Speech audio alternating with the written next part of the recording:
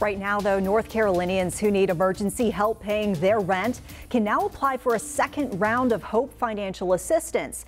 But as the state opens a second application period for the program, there are some still waiting from the first round to get paid. And that's even after North Carolina announced improvements that were supposed to speed things up. In fact, an area landlord only recently received his $7,000 payment because our Nate Morabito started asking, where's the money on his behalf? The recent retiree rents out just one townhome, so he needed this money. Yet it took five months and a push from us for his check to arrive in the mail.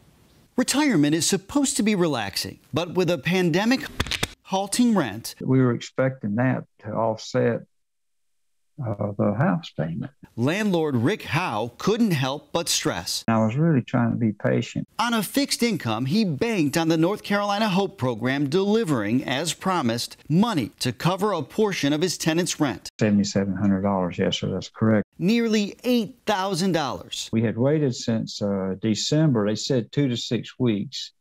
Uh, the that was certainly got figured we would have been paid by February. So when the money didn't arrive in March or early April and the state wouldn't answer his questions, we couldn't find out any information until you got involved. Like so many renters before him, he turned to us for help. You waited five months. I know it sounds crazy, don't it? Overwhelmed from the start, the HOPE program struggled to meet the demand. We are working our hardest to get the checks out to people. Since December, the state's hired new employees and changed its system. Even so, the HOPE program still has roughly $400,000 in financial help to deliver. As soon as the documentation is in place and as soon as we can check off all of the federal compliance items, we send the check. Much like Chief Operating Officer Laura Hogshead said in March, a program spokesperson recently told us in most instances, the remaining cases have required additional documentation, correction of forms, or follow up with landlords and applicants to ensure payments are going to the correct parties. The goal is to pay out the remaining $400,000 by the end of the week.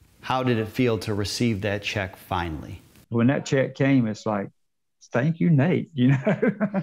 Thankfully, Rick Howe doesn't have to wait until then. They apologized to it. The state eventually mailed his check after we spoke up on his behalf. They had just been overloaded.